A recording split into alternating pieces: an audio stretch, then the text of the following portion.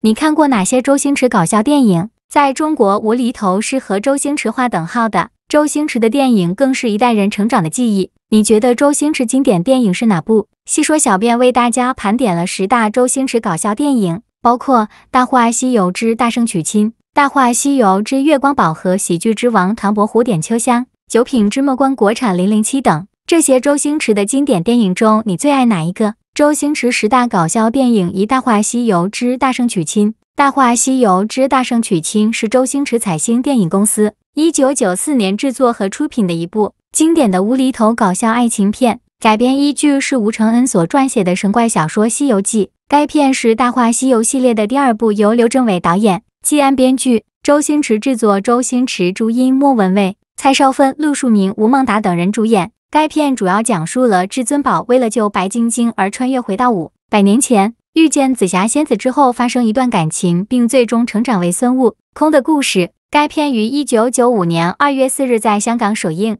二《大话西游之月光宝盒》《大话西游之月光宝盒》是周星驰彩星电影公司一九九四年制作和出品的一部经典的无厘头搞笑片，改编依据是吴承恩所撰写的神怪小说《西游记》。该片是《大话西游》系列的第一部，由刘镇伟导演、季安编剧，周星驰制作，周星驰、莫文蔚、吴孟达、蓝洁瑛等人主演。该片主要讲述了唐僧师徒前去西天取经之前的孙悟空因要杀唐僧，被观音菩萨。惩罚转世为至尊宝，而后遇见白骨精、蜘蛛精的传奇故事。该片于一九九五年一月二十二日在香港首映，并入围第十五届香港电影金像奖最佳编剧奖。周星驰凭借该片获得第二届香港电影评论学会奖最佳男主角奖。三《喜剧之王》《喜剧之王》是星辉海外有限公司出品的一部喜剧电影，由李力持、周星驰执导，周星驰、莫文蔚、张柏芝等主演。该片于一九九九年二月十三日在香港上映。影片讲述对喜剧情有独钟的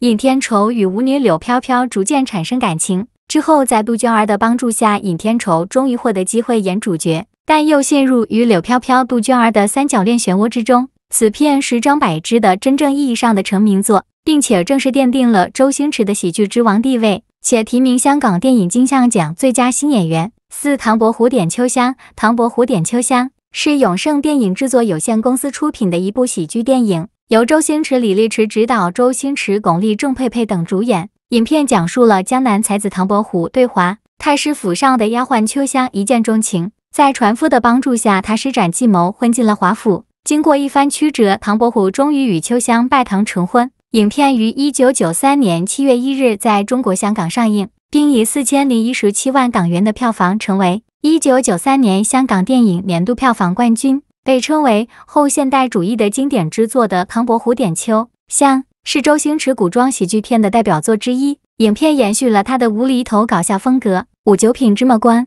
九品芝麻官之白面包青天》是一部由王晶执导，徐锦江、张敏、吴孟达、周星驰于一九九四年联合主演的喜剧电影。影片延续了周星驰一贯的搞笑风格，描述了水蛇提督之子常威垂涎秦小莲美色。将其暴力奸淫失败后，杀其夫家十三口，以及引发的一系列事情。候补县令包龙星比较贪，但为人还算正直。七情是嫁给一位富商做妻子，但受到显贵之子常威的调戏。七情是不从常威起了杀机，将张一家上下全部杀害，还嫁祸给七情氏。包龙星发现其中蹊跷，但也被方唐镜等人诬陷而逃奔他乡。他们在进京告状的途中，用完了身上的银子，星不得不在妓院打杂。六国产零零七，国产零零七是一部由周星驰、李力持执导，周星驰、袁咏仪、罗家英等主演，于一九九四年上映的香港喜剧电影。影片对美国谍战影片零零七系列进行恶搞创作，讲述了后被国家特工零零七赶赴香港，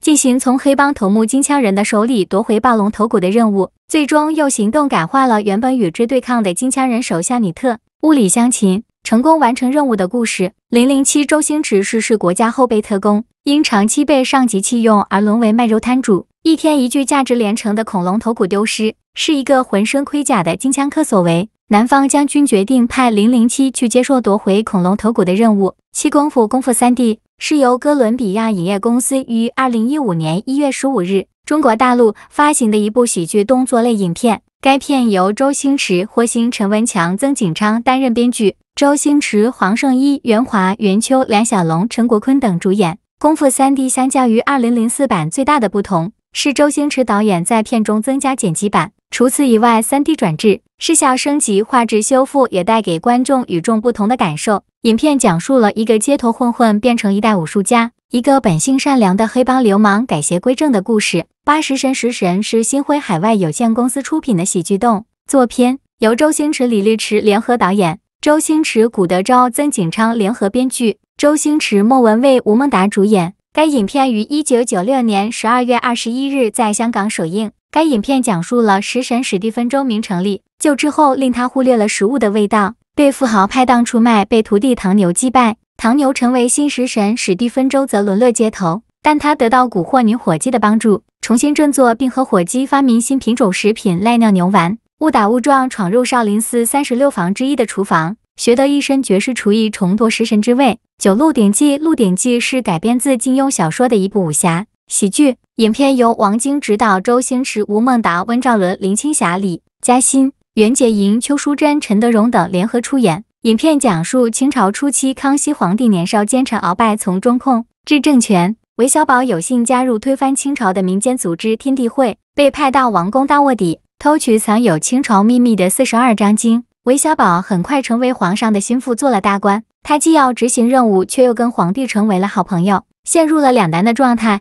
该片于一九九二年七月三十日上映，是少林足球电影《少林足球》（Shaolin Soccer），是由周星驰自编自导自演，吴孟达、谢贤、黄一飞等联合出演的一部喜剧电影。影片讲述了一个穷苦潦倒却心怀功夫的人自创少林足球队，并取得成功的故事。在二零零六年世界杯，塞尔维亚和黑山国家足球队与科特迪瓦国家足球队的比赛前约半个小时，场地的大屏幕中播放了一段少林足球的电影片段。这部电影不论是从对香港电影，还是对周星驰本人而言，都是具有重要意义的。在香港电影票房自九十年代起每况愈下以后，这部电影的票房显然达到了一个顶峰，创造了香港历史上最高的票房纪录。非常感谢大家观看细说为您带来视频。希望这个视频能够对您有所帮助。如果您对本视频有任何疑问或建议，请在评论区留言，我们会尽快回复您的问题。同时，如果您觉得这个视频有价值，请点赞并分享给更多的朋友，让更多的人受益于这个视频。